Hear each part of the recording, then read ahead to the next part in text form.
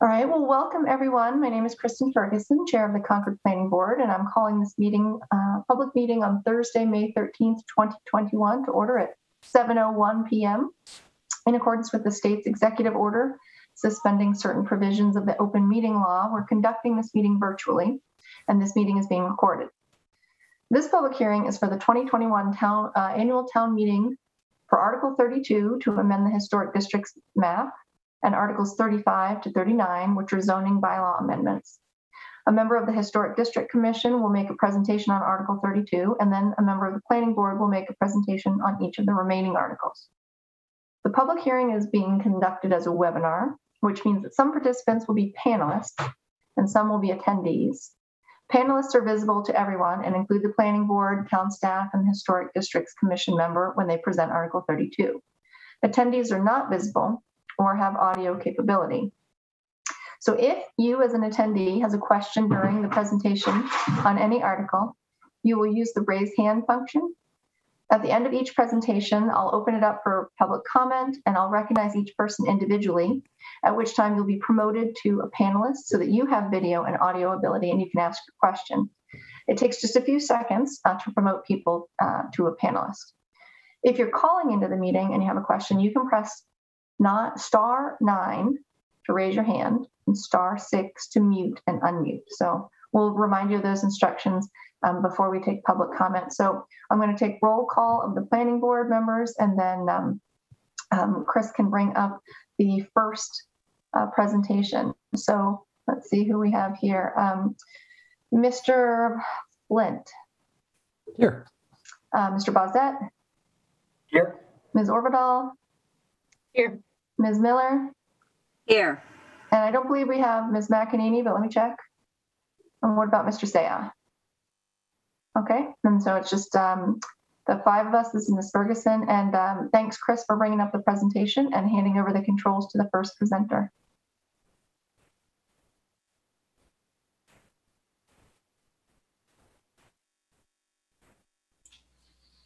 I think Mr. Nobly, it's all you.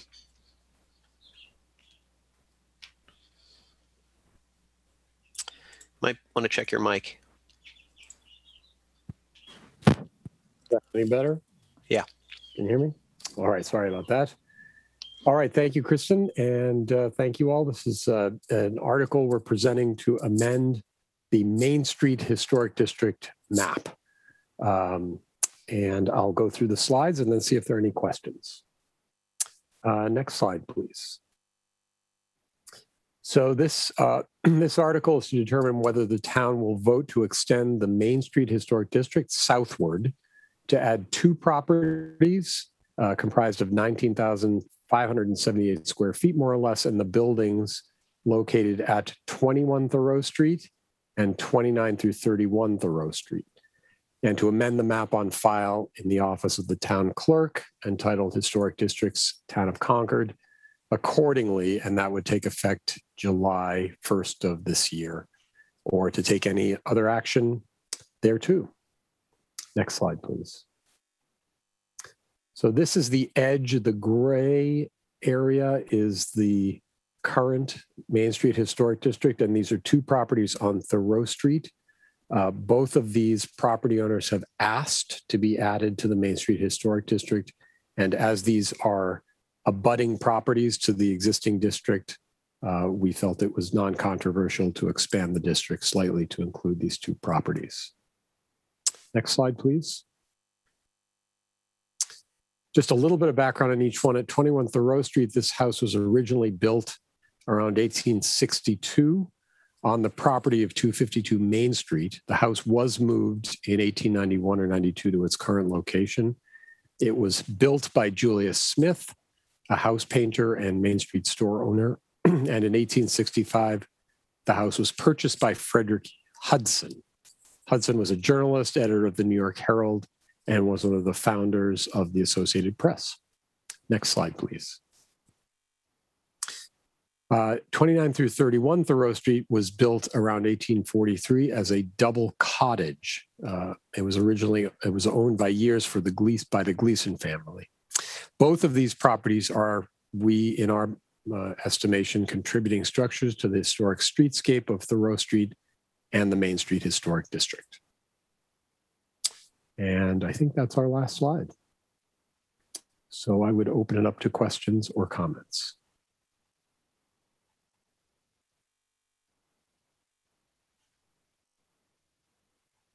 Um, Ms. Ferguson, there's a hand raised. If you want to go through the planning board first, I'm not sure. Thanks. Can you promote Karlen Reed, please? Yeah.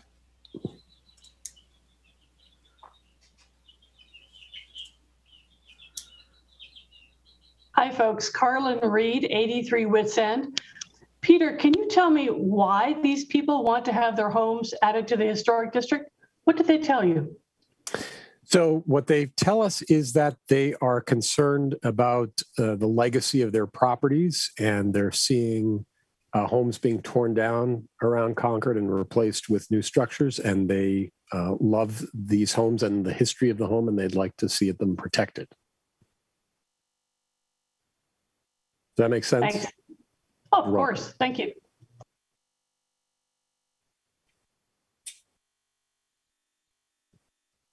Um, can, can you promote Dennis Fiore, please? And Dennis, could you please state your name and address for the record before you comment? Unmute, sorry. Can you hear me now? Yes. Yes. Den- Dennis Fiore, 309 Strawberry Hill Road. Uh, I'm a member of the HDC. And I think what we're seeing here uh, is a concern by the neighborhood on Thoreau Street about uh, their worry about creeping commercial districts. We saw this last year uh, at the town meeting when there was a movement uh, to create a new drive around the back of the of the commercial block that houses a Starbucks. And as you, as you realize, the neighbors were not pleased with that. And so I think there is a, a concern in the neighborhood, and I've spoken to some of the neighbors about creeping commercialism, and they'd like to contain that because they feel it's a wonderful residential area so close in town. So I perfectly well understand why these individuals uh, want to want to make sure that these properties uh, survive and and uh, are are not changed dramatically. Thank you, Dennis.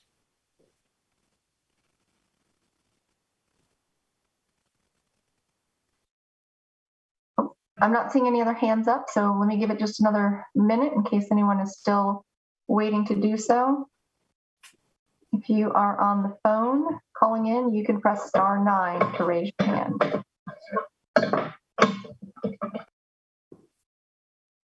I think people are here for the much more exciting articles to follow. Yeah. All right, well, thanks, Peter. Appreciate the You're welcome. presentation. You're welcome. Thank you. All right, um, now we're on to the zoning bylaw amendments and, uh, oh, Heather? Was you waving your hand? Or is she saying goodbye? Okay, um, Bye. all right, so.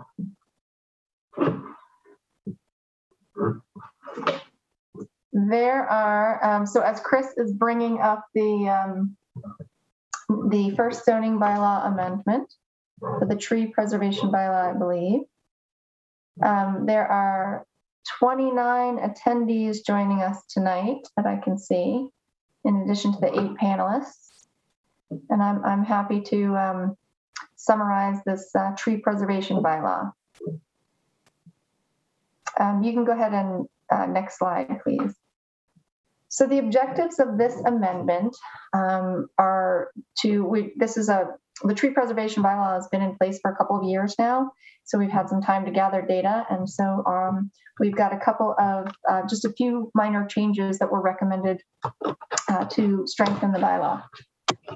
We're doing this to uh, require reinspection of tree protection measures if the construction takes longer than a year, to require tree protection of invasive trees if the property owner wants it to remain, and to require tree planting and or transplanting to meet American National Standards Institute, that's ANSI standards that um, we've also defined on the website.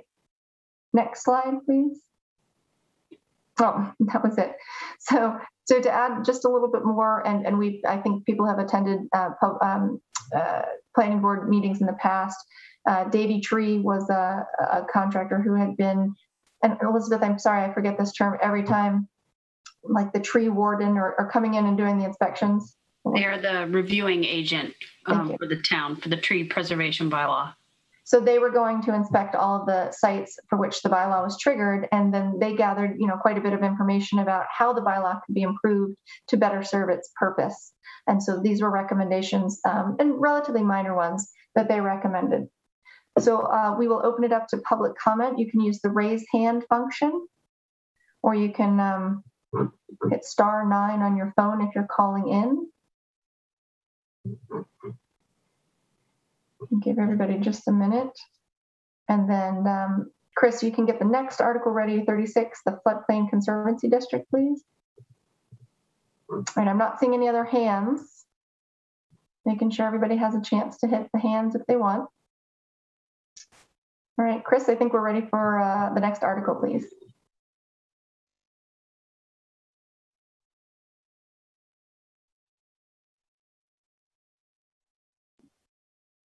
Okay, Kristen, this is my article, Article 36, zoning bylaw amendment to the floodplain conservancy district uh, bylaw. Uh, Next slide, please. In short, the reasons for this amendment is to make Concord's zoning bylaw with respect to floodplains conform to new model bylaw that the state has. Um, It's a, uh, the state model floodplain bylaw was updated in, in 2020, and it's a requirement for all communities in the uh, National Flood Insurance Program to adopt the bylaw updates. Uh, if not adopted, Concord property owners could no longer get flood insurance through the NFIP program. And next slide, please. The, there are a couple of additional changes that, that we're proposing that go um, sort of above and beyond the, the model bylaw. Uh, one is um, formalizing a one and a half to one compensatory flood storage requirement that's been in place for over 30 years. Uh, the, the model bylaw provides that it, it any work that f- fills a portion of the 100 year floodplain uh, by either earth or structure um, have an equal area on a one to one ratio of compensatory flood storage. Um, however, since the late 1970s, the town of Concord has had a policy that compensatory flood service shall be provided on a one and a half to one ratio. And that was to ensure that any, any filling of the 100 year floodplain was adequately provided for in the case that there was surveying, engineering, or grading errors uh, that, that, were, that were inaccurate, such that that resulted in flooding upstream or on adjacent properties. The, the, the chain uh, having this one and a half to one compensatory uh, requirement could be waived by, by the ZBA. Um, subject, they could waive it down to a requirement for one to one compensatory storage. Next slide, please. In order to um, provide a waiver, the ZBA would need to receive a recommendation from the, the NRC and uh, find that the project allows for an overall improvement to the site, such as reducing the volume of structure in the floodplain, improving stormwater management, or improving the natural environment. Again, that's to get from one and a half to one down to one to one. Next slide, please. So the benefit of the, the amendments provided for by this article are that, um, most importantly, adoption of the model uh, flo- floodplain bylaw that has been adopted by the state allows the town to remain in the National Flood Insurance Program. And so property owners would continue to be able to purchase flood insurance. And it, and that one and a half to one uh, compensatory storage requirement provides a margin of error in surveying and construction. It's also a proactive step to address increased frequency and duration of flooding that could result from climate change. Um, and that is the full presentation. Thank you, Kristen. Thanks, Burton. If there are any questions, please use the raise hand feature or star nine on your phone if you're calling in. Not seeing any hands up yet. I'll give it another minute while um, Chris pulls up the next Article 37. This is the one I'm working on for um, minimum parking. Okay. Raised hands for um, floodplain, going once, going twice. All right. Um, Chris, I'm ready for the next one, please. Thank you. Just figure out how to look at my notes in time. All right. So Article 37 is about um, an amendment to Table 4 for the minimum parking requirements specific to uh, restaurant outdoor seasonal seating. You can go to the next slide, please. So during 2020, with indoor capacity for restaurants limited due to the pandemic, some restaurants were able to convert areas of parking lots to outdoor seating. And dining outdoors was certainly a welcome alternative for patrons, and it helped support economic vitality in town village centers. To allow these seating areas and parking lots, the select board and town manager waived parking requirements for outdoor seating, so restaurants weren't required to seek such a waiver from the zoning board of appeals. This was in response to the declared state of emergency, and last summer, the select board issued special permits to about 10 restaurants. People were very happy to enjoy eating eating out again, but also in the um, the feedback was particularly positive about being able to eat outside. Next slide, please. Um, so I was curious and I asked about this. Without the state of emergency, a restaurant that wanted to add outdoor seating could do so as long as they could demonstrate they had additional parking spaces at the rate of one space for three outdoor seats. Um, however, currently, many restaurants are already operating with a special permit for relief from parking due to site limitations. In many cases, there isn't enough on site parking to meet the current bylaw requirement of that one space per three seats rated capacity, plus one space for employee, uh, each employee on the largest shift, if you were to include the number of outdoor seats in that calculation. So those restaurants that could not accommodate additional parking, or if they have already have a relief from parking requirements for what they already have, they would have to go to the ZBA for a special permit to get further relief from parking. So this state, what the state of emergency did was it allowed the select board and town manager to waive that need to get a special permit. Next slide, please.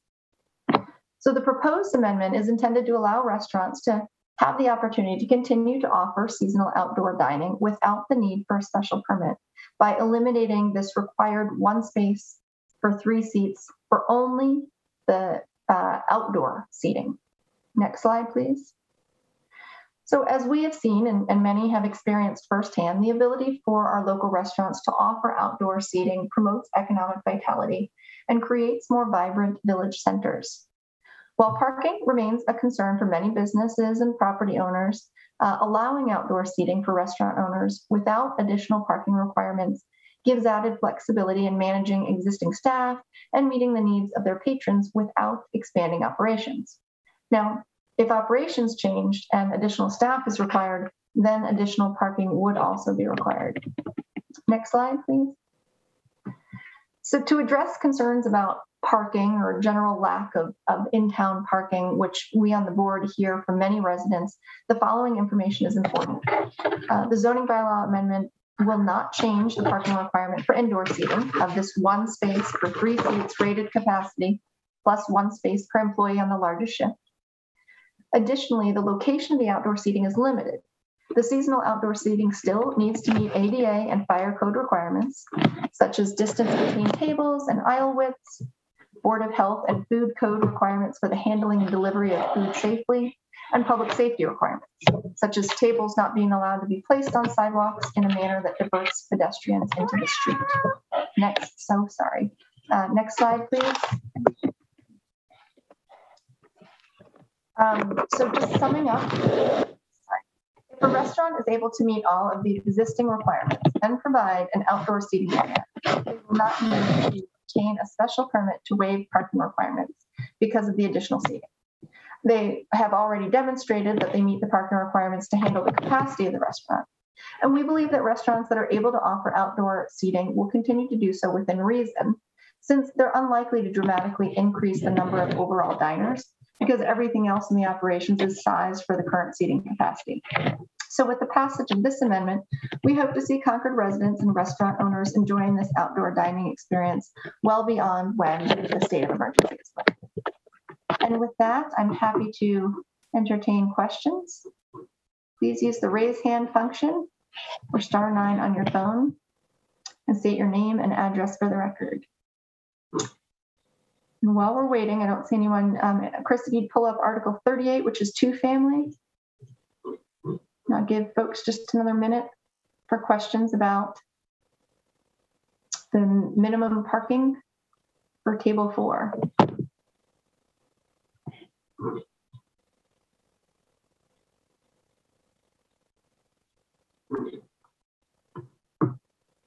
All right, I'm seeing no hands for this. Thank you for listening. And um, Nathan, I think you're up. I am, thank you. All right, Article 38, excuse my voice, the uh, pollen has been uh, wreaking havoc with me. Uh, Article 38 is complementary to an article passed at last year's town meeting, which allowed for a wider range of housing choices through the construction of additional dwelling units. Next slide, please. And so Article 38 is looking to amend Section 4.2.1 of the bylaw to allow zoning board, the zoning board of appeals to grant special permit for the construction of a new two-family dwelling or alteration of an existing single-family dwelling into a two-family dwelling in the Residence C zoning district. The board may also allow reduction and reduce in required parking. Next slide, please. and so if you want to think about the amendments, uh, the objectives of the amendments, amendment. It creates additional housing. Uh, you know, we've heard a lot about looking for uh, smaller starter houses or downsizing houses. Um, and so that matches future needs.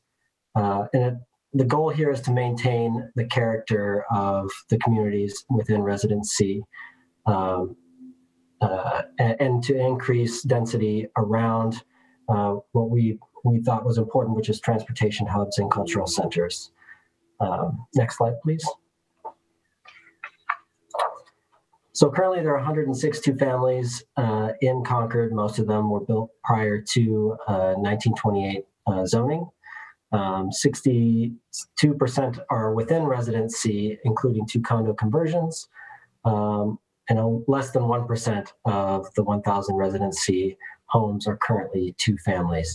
And if you drive through um, Concord through what is Residence C, and we'll get to a map that shows exactly what Residence C is in a little bit. Uh, you'll see a lot of these two-family homes. So they they're pretty common. Uh, some of them have been converted since to single families, but the the you know style and scope of them is uh, is prevalent throughout the town. Next slide, please. And so the first is just showing a, a map of Residence C um, around Concord Center and the Thoreau Depot area. Um, so you can see the streets that would be included um, for, for that segment of Residence C. Next slide, please. And then over in West Concord, you can see what Residence C uh, uh, encompasses the streets that are included there. Next slide, please. So just to go through, um, you know, some of the, take a moment to go through some of the basics and possible concerns. So absentee ownership would be allowed, as is the case currently with single family homes, uh, can be established as, uh, as a condo. Uh, the units must be attached, and I want to add, as part of the special permit process, these developments will be reviewed to make sure um, that the way in which they are attached uh, to each other is both keeping in the spirit of the bylaw and also within the, the keeping of the community, the characteristics of the community. Um, all existing uh, size and setback requirements would be maintained.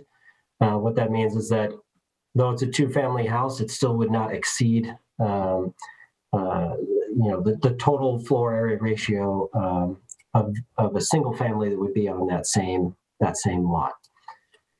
Um, parking requirements also uh, are also the same as a two-family, but again, as part of the special permit process, that could be reduced, particularly as the emphasis is on developing these around transportation hubs. So if, if you know, you know, the goal is to look, you know, uh, to encourage people to use the transportation hubs that are they are near, uh, rather than uh, focusing on cars, and that's also the direction people are looking to purchase. Then, um, you know, that that uh, that matches that.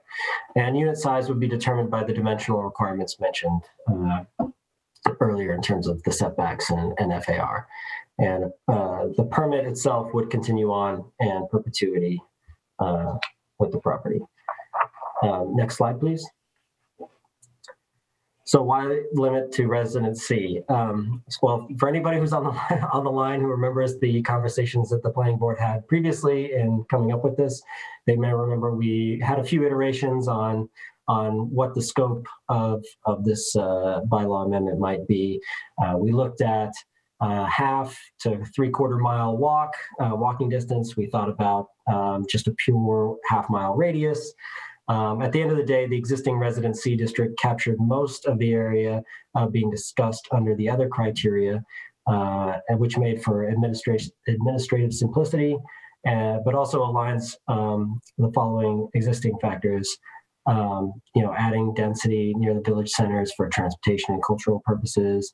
Uh, all, you know, nearly all of the uh, existing two families are in that area already. Um, the Residence C, um, again, because of the dimension requirements, it would maintain a certain scale that, that made sense for smaller homes. Uh, and, um, and again, it removes the, the need to create a new overlay district. So that administrative uh, simplification. Next slide, please. And then this, we've talked about a little bit so far, but uh, overall, this is aligning with um, the town goals as set forth in Vision Concord. Um, there's two uh, sections here that are outlined. Um, but again, focus on uh, density within those transportation hubs, cultural centers, uh, more mixed use, and really driving the uh, uh, the economy in those in those areas. Next slide. Thank you. Um, reasons for the special permit. Um, the planning board is proposing that a special permit be required for a two-family dwelling for a number of reasons. Uh, the Residence C zoning district is more dense, so there's potential that a project could impact the butter and could impact the butters. A special permit application to the ZBA is a discretionary permit and requires notification to those butters. Um, and as part of the review of the application by the ZBA, the board uh, has to make the findings regarding traffic safety, parking, which we've, we've talked about briefly, uh, neighborhood character, and natural environment. So those would be uh, made available as part of that process. Um, and this process is a way to help evaluate uh, a proposed two-family dwelling and whether it may have a significant impact or not. So again, um, you know, we're really thinking about uh, uh, introducing this in a way that that makes sense for the community. Uh, and so part of that is allowing for that feedback from the community. Uh, next slide, please. I think that was the last one. Yes. So um, can take any questions or, or comments that uh, anyone on the line might have. Thanks, Nathan. Raise your hands. Um, can, can you promote Mary Hartman? And then please state your name and address for the record before your comment or question, please.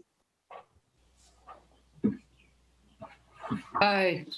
Um, hi, my name is Mary Hartman, and I'm the I live on 16 Concord Green, Unit 6. I'm the chair of the Finance Committee, but I'm here speaking for myself. Um, I think this is a great idea. Um, I'm wondering, have you, do you have any estimate of how many moderately affordable units you'll be able to add to the housing stock inventory if this passes? Um, uh, that's a great question. We've uh, We've had that asked a few times. I, I think, you know, part of this is um, allowing the space for developers to uh, to build this type of housing. Um, so it's we're not quite sure where that is going to land. Um, so I don't have an immediate answer for you uh, on that. But uh, I don't know, Elizabeth, if you want to add anything in there yet. So specifically, the zoning bylaw does, um, this amendment uh, does not have a specific requirement that the units be deed restricted affordable um, in any manner and uh, go towards the subsidized housing inventory. I understand. So what the planning board's discussion over these past two years uh, has been is that um, by its nature, you know, the units, two units on the same same lot as a single family dwelling, they'd be smaller, and um, you know, by that that role, they would be you know a little bit more affordable. But there's no deed restriction requirement that they be um, at 80% area median income and on the subsidized housing inventory. No, I understand that. I'm wondering, do, these are moderately affordable, right? These are not on the housing inventory, as you said. So these are, are not part of our housing inventory for the 40B, right? So these are mo- moderate, right? Or I call moderate, maybe workforce housing or whatever we Could be want to call it. But I'm just wondering, so how many do you think are would be converted now possibly? And then the I guess what I'm hearing is you're hoping that this incents builders to come in and build two families. And so that's hard to estimate whether that will be successful or not. Is that- Exactly. okay. Yeah, I mean, they, they cannot right now. So th- like I said, this is just allowing the space for, for that type of development to, to take place. Okay. But you're not expecting a lot of conversions of homes right now into two families? No. It, it's, it's really hard to tell what, Okay. what is gonna, you know, it, it, I, I, the feedback that we have um, received and the board has received is that there are, um, there are a few um, homeowners that uh, don't have the space necessarily to um, do an accessory dwelling unit, um, but want to be able to have a two-family that is legally they can you know they can condoize it and they can sell it um, live in the other half and don't necessarily have to be um, renters or find renters um, so it's just it's a it's another tool um, to go along with the accessory dwelling unit bylaw that was passed last year Great. Okay. Thank you. It's a step in the right direction. Thank you. Thank you. Um, I see another hand up from Brooks Ware.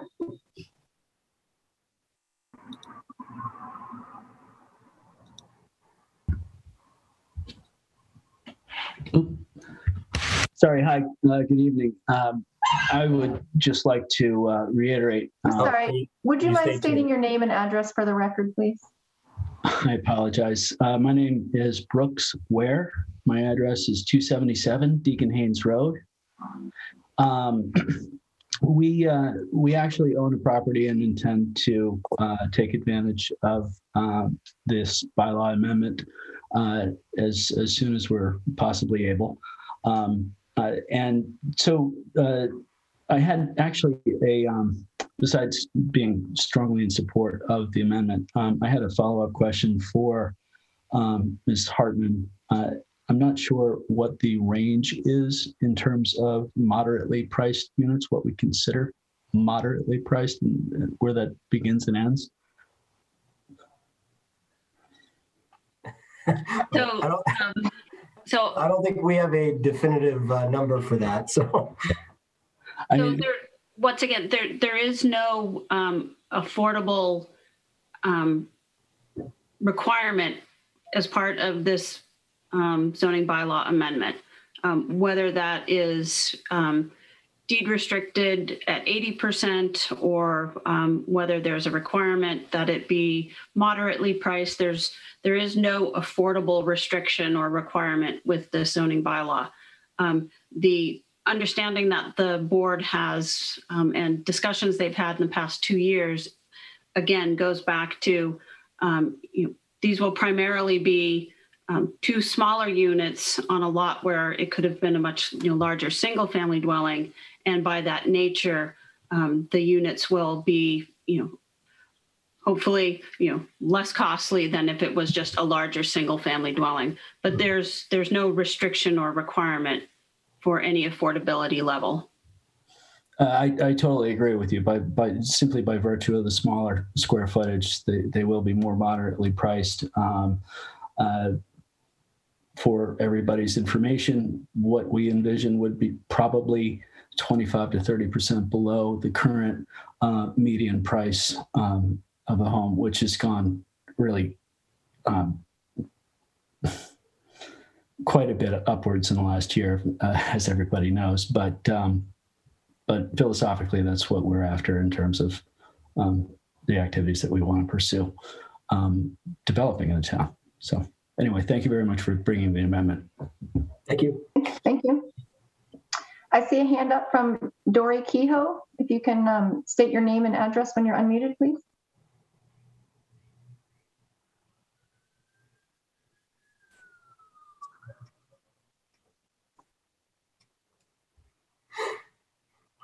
Can you try unmuting yourself? Oh, there I'm you are. trying to do that, and it's. Oh, oh, we we just heard you a minute ago. There we go. Oh now, yes, okay, good. Um, Dory, Dory Keough, uh, 51 MacArthur Road. And the reason, the question I'd like to ask is many of the people in large homes and not in Residence C would be interested in doing something similar to this, which is now not, not allowed. Is there any, looking forward, is there any thoughts of, of trying to consider this in, in some of the other residence districts? Not to Yeah, build so so- much, but to transfer from a larger home to a smaller, to two, to subdivided. Yeah, so that was a that was one thing that we discussed uh, within the planning board um, uh, last year when we were developing this, and the, I think the initial thought was that Residence C, in terms of of the focus on the transportation hubs, cultural centers, and also the um, the scale of of the units that would be developed, kind of made sense when we were looking for uh, you know potentially more little a affordable uh, um, housing. Um, but I also want to make clear that one of the things that we discussed was depending on the success and interest of this, we can always expand it out, right? So we can always expand out to um, other residents, uh, zoning, uh, residence zones, uh, or you know, revisit the idea of how to determine which uh, which areas are included uh, under this bylaw. But yes, it's it's definitely been discussed, and the thought is is that we can review and expand as uh, as desired. Good, thank you. Thank you for your question. I see a hand up from Stefan Bader. You'll state your name and address for the record when you're unmuted, please.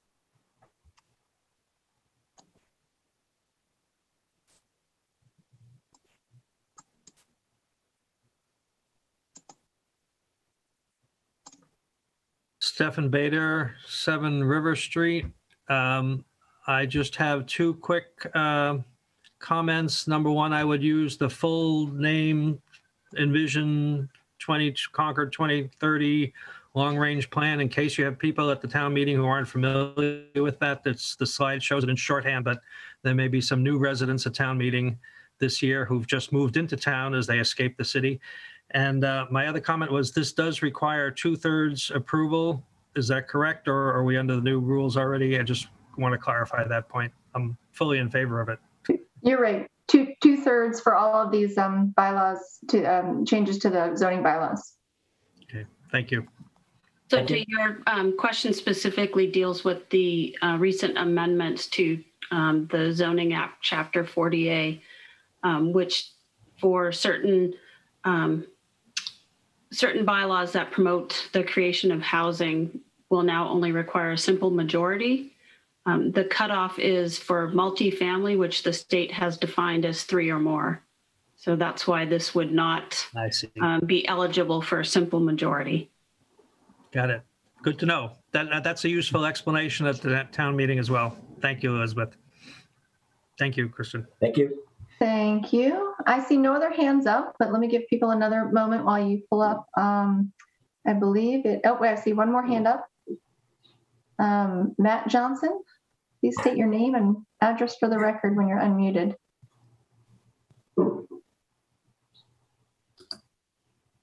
Oh, shoot. Um, my, my We, we can hear you. screen isn't working, but let's go ahead. Um, so, uh, first of all, thanks for bringing this to town meeting this year. Um, my question was. I'm sorry, uh, can you state your name and Matt address for the Johnson, record? 21 Winthrop Street, um, former member of the planning board, currently a member of the select board, speaking for myself. And uh, just asking, first of all, uh, as a point of reference, there was a question about how many units this is likely to produce. And while that can't be absolutely predicted, it might be helpful reference to hear how many accessory dwelling units have received building permits under the bylaw amendment that was passed last year.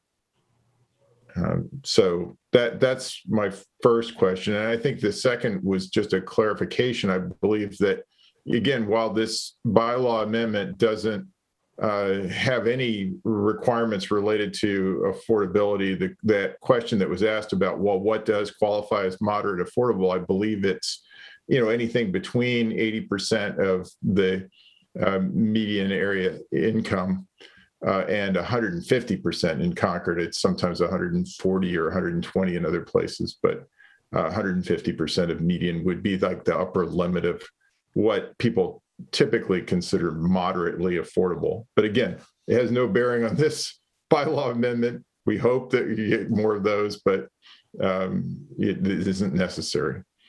So, so back to my original question, though. Um, any idea of how many building permits have been issued for accessory dwellings under the new bylaw?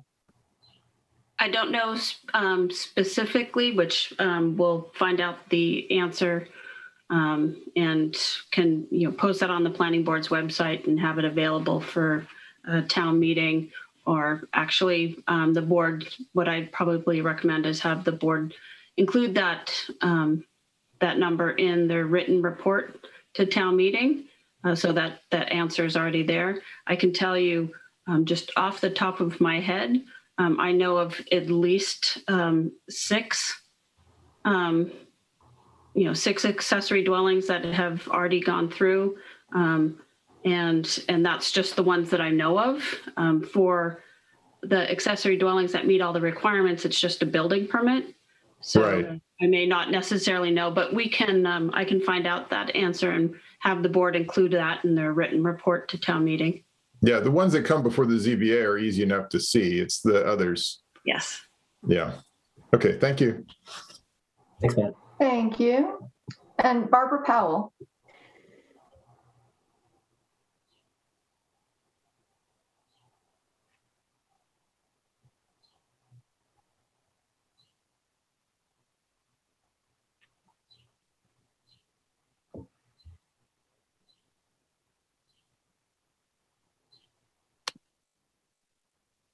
Aha. Am I off mute? Yep, we can hear you. Could you state your name and address, please? Yes, Barbara Powell, 316 Heathbridge Road. Um, A member of the Concord Housing Foundation, actually. I wondered if the limitation to uh, Zone C was based at all on the assumption that uh, people who need affordable housing don't have cars or are limited somehow by the need to have access to public transportation. I don't think that was, um, I, it's been a while since we, we had our initial discussions about this, but I don't believe that was part of, um, our original thinking on this. So, so that's not a, going forward, that's not an assumption that needs to be dealt with. Not, I mean, I guess I would say not directly because part of, excuse me, part of the overall view is just that we're, we want to encourage people to use the existing public transportation that is there. Um, and that is also part of the reason why the, uh, you know, the parking aspect is um, something that can also be reviewed as part of the special permit so that, um, you know, as a, if a builder is just looking to, you know, build for particular buyers or in terms of space, uh, spacing and packaging, for example, of, of the property, um, that we can do that uh, again to encourage just you know more people being able to live closer to the transportation uh, uh, hubs and the, the town centers. Okay, thank you.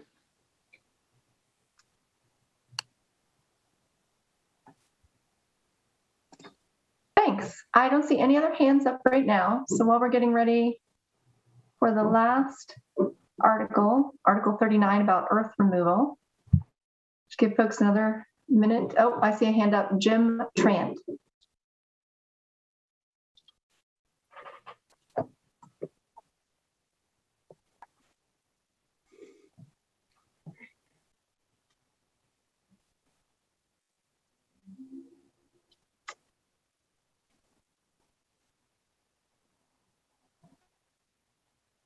Mr. Trent, you're on the panel. If you could just um, unmute your mic.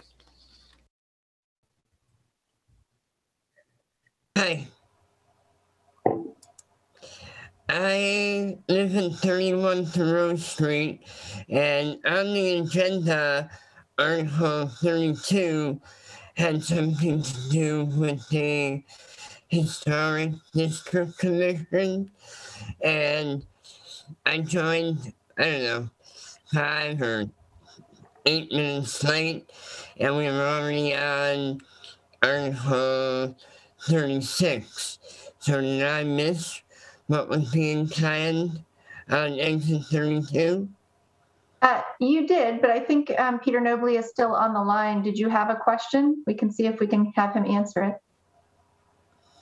I just wondered what the status was with respect to the decision or what information was needed to help with the decision and how Article 32 was going to be decided. And Peter, we, we made you presenter again if you want to respond, but um, Sure, I, I, if you can hear me, I can't start my video. Jim, there was, uh, there were just a couple questions and it sailed right through, so no controversy. And that's good. What does it mean? Does it mean it will be historic or will stay non-historic? I, it will now go to town meeting for the town to vote on it. So it's, does that make sense? We're just going to continue as, as planned. Okay, great. I'm happy to hear that. Thank you. Sure. Appreciate it, Thanks for Peter. coming. You Yep. bet. all right. Thank you to you both. And I see um, one more hand up, Charles Phillips.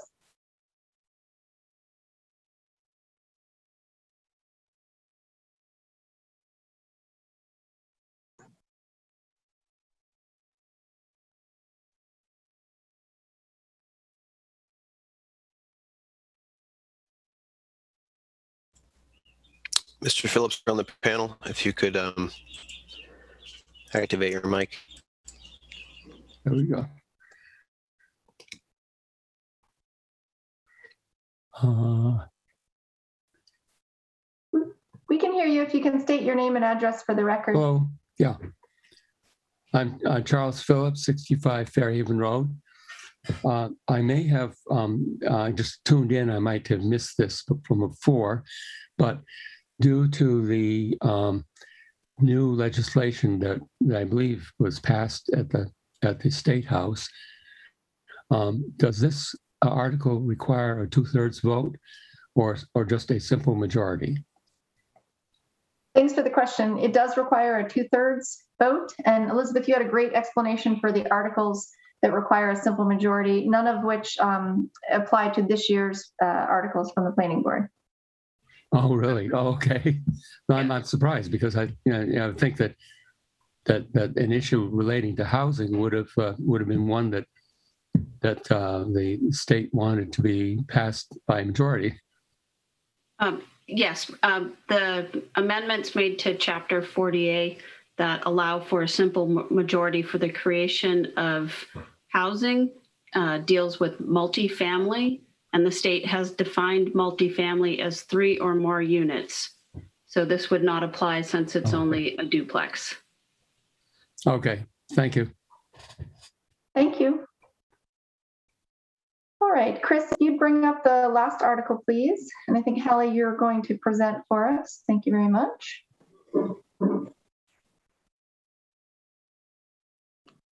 Okay, so um, last article is Article 39, um, earth removal.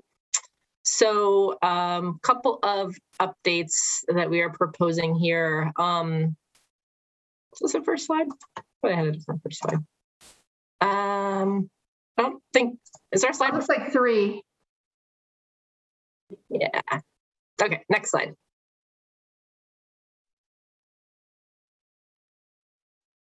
You go to, okay. There we go. Um, so, yeah, a couple of items are being proposed here. Um, you know, so earth removal regulates um, primarily earth removal greater than a thousand cubic yards, um, but not fill that's brought into the site. So, um, sort of a global change being proposed here is to just add the word fill. Um, to a number of spots so that it, it covers removal and fill um, over for uh, you know a thousand cubic yards that might be brought onto the site. Um, and then aside from that, uh, we're we're kind of clarifying a lot of um, areas in the language, and again focusing on the part of the bylaw that focuses on greater than a thousand cubic yards removal or fill. Um, you know, uh, one area in particular we just found to be a, bit vague and wanted to clarify that existing language and um, incorporate some more measurable um, objectives and definitions um, for the zoning board to consider in granting approval. Um, and then, you know, related to that and, and similarly, you know, adding adding in a criteria specific to sustainable sustainability and sustainable objectives. Um, we can go to the next slide.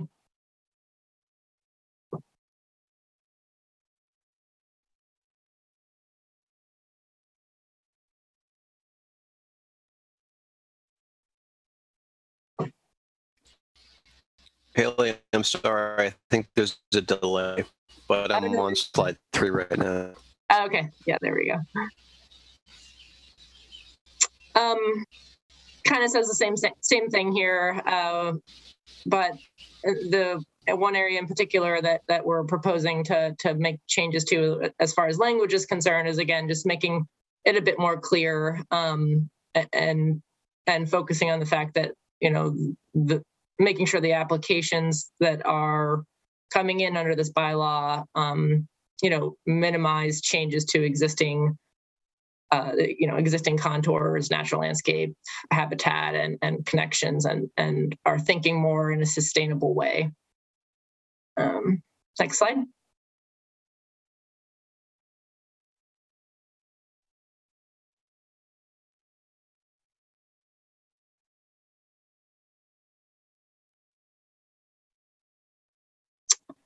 Um, again, just uh, sort of the nitty gritty language that that we are um, have have has been updated. Uh, we've added some definitions to um, dust, odor, noise.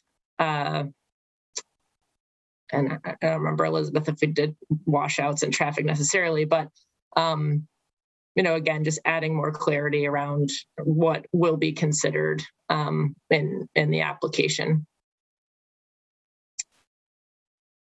Next slide. And then the final piece that we've proposed to add in um, was uh, taken from, from, I believe, the town of Plymouth. They had very similar language that, um, you know, we liked and that it requires an alternative analysis um, by the applicants to, you know, make sure that they are kind of thinking about more than one design, um, and, and especially one that would minimize earth removal or land disruption. Um, and then, you know, sort of discussing the advantages and disadvantages of, of alternatives. Um, so again, this was almost taken verbatim from the town of Plymouth, uh, their earth removal bylaw.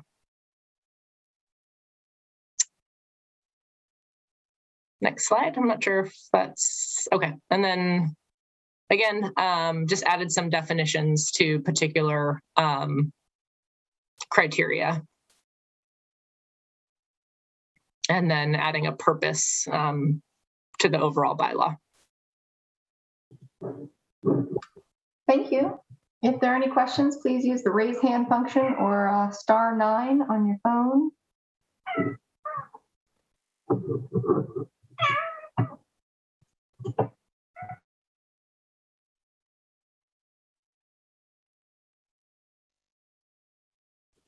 Pamela Dritt. You'll be promoted to panelist and you can unmute yourself and state your name and address, please. Pamela Dritt, 13 Concord Green, Unit 4. Thank you for this. This is a wonderful thing, I think. I hope it passes. I wonder if we could, in the future, consider adding uh, language about, about maintaining soil integrity, as we have recently learned of the extreme importance of the soil um, in terms of the fungal network that feeds the plants and the uh,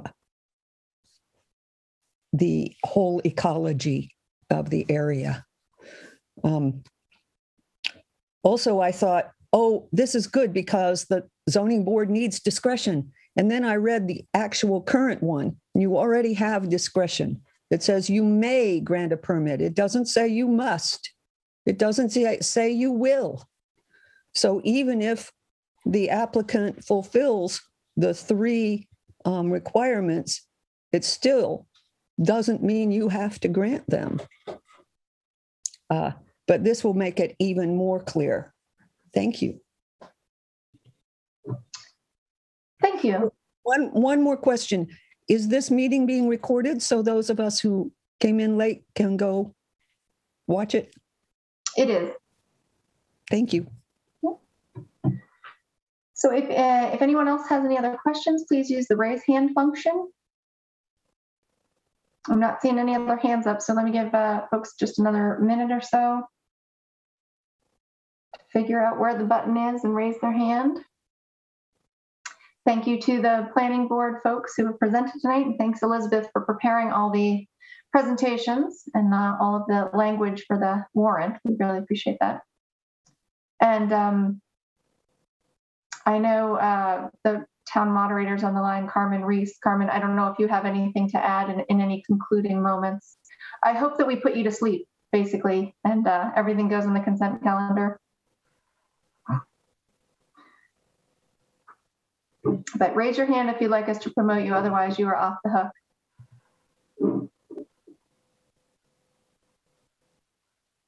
Good evening, everyone. Uh, no, you didn't put me to sleep. It's always very interesting.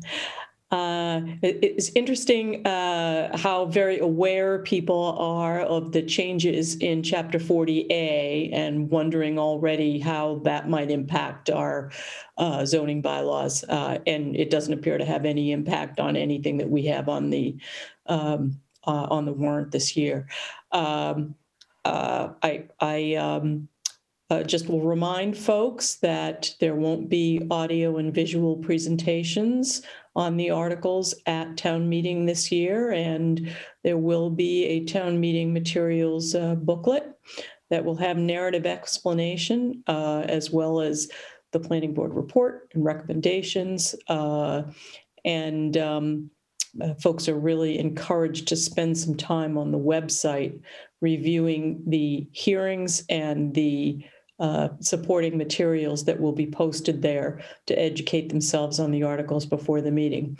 And again, we'll have uh, a very robust uh, consent um, calendar. I'd be interested to know whether there are any articles that the planning board feels uh, should not go on the consent calendar, or whether you would be content to see uh, all of this year's zoning bylaw amendments go on the consent calendar.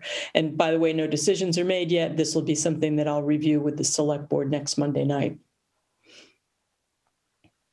Thank you very much. Um, I imagine uh, we can be in touch through Elizabeth um, if, if there's anything uh, that we think warrants more discussion. Thanks. We appreciate it. Thank you. And I see it looks like one more final question. Roger Rush.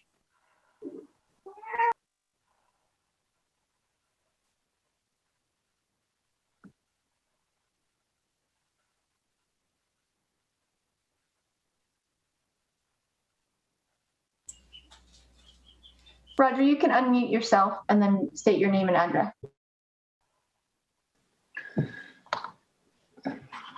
Hi, I'm Roger Rush, 67 Conant Street. Um, can you hear me? Yes, we can.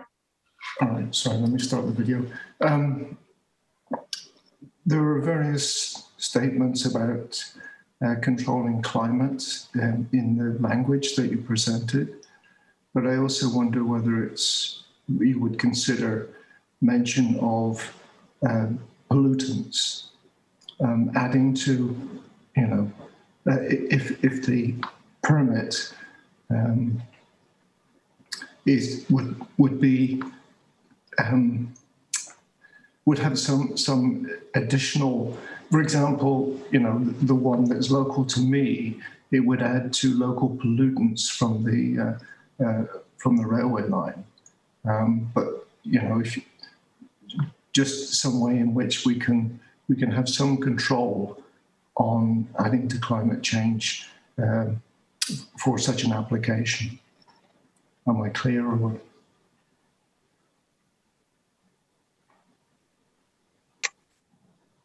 I think so. Um, I don't know if that's, you know, I know Elizabeth, we've kind of gone back and forth with what, like we as a planning board are able to do, you know, from not overstep our boundaries from like a so, state. so for example, the you know large earth removal involves adding a lot of diesel pollutants to to the local atmosphere. Um, that's not very friendly.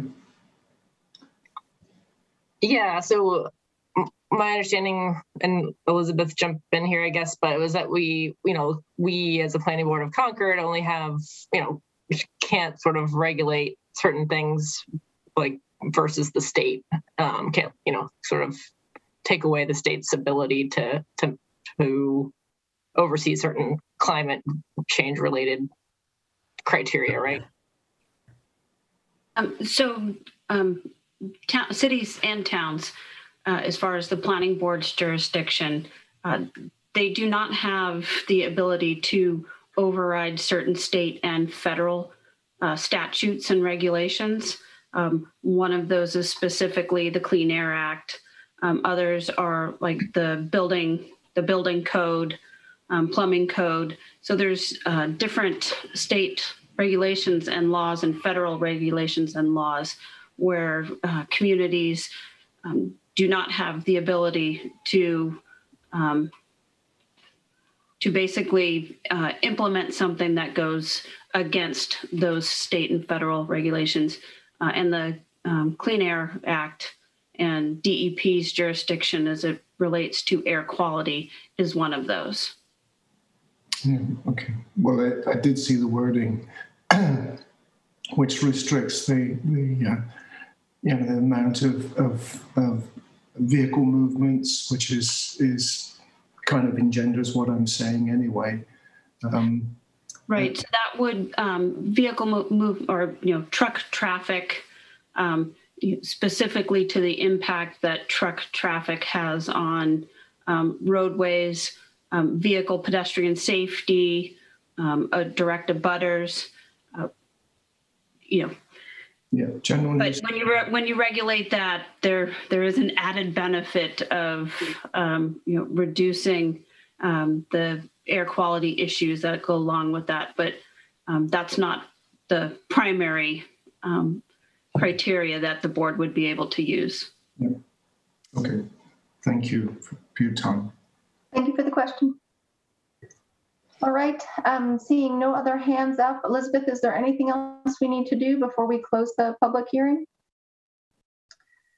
Okay, um, then we will close, thank you everybody for coming. Um, and as uh, town moderator said, please read all, there'll materials available to read before uh, town meeting and we will see everybody then.